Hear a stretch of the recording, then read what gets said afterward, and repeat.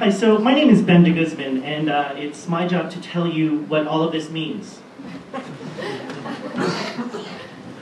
no, not really. Um, I am uh, the co-director for programs at the National Queer Asian Pacific Islander Alliance. Um, how many of you have heard that group before? Wow. Before you heard about this event? Nice. Um, I am pleasantly surprised because we are a relatively new federation of the 30 plus Asian American, South Asian, Southeast Asian, and Pacific Islander LGBT organizations around the country.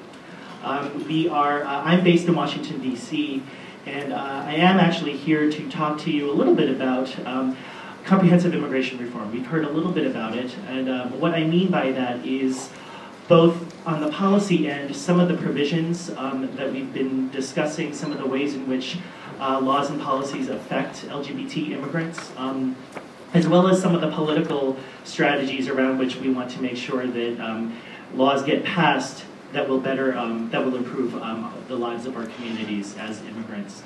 Um, so I'm here to provide the Beltway perspective.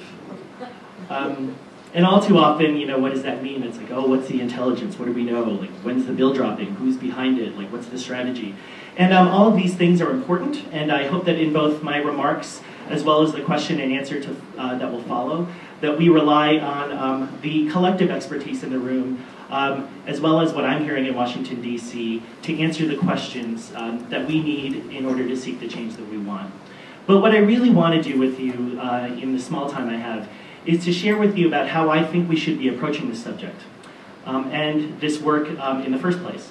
You know, by thinking intentionally about how we even frame these issues to begin with. Of course, we're talking about you know strategic communications and messaging and some of these kind of tactical things.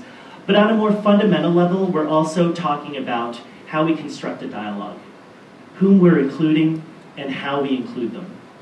Um, marginalized communities like many of those here in the room, know what it's like to be thrown under the bus.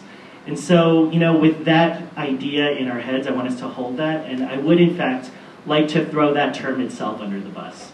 Um, certainly the debates around, you can laugh at that, um, no, because uh, in all seriousness, the, the debates around CIR, um, I'm gonna, if I shorthand comprehensive immigration reform by calling it CIR, you will have to forgive me. Um, perhaps I've been in Washington, D.C. too long. Um, Okay, I will get more minutes that way. Um, but certainly all of these um, issues are very complex, and you know, uh, but I, at the end of the day, I don't think that kind of construction is, helpful.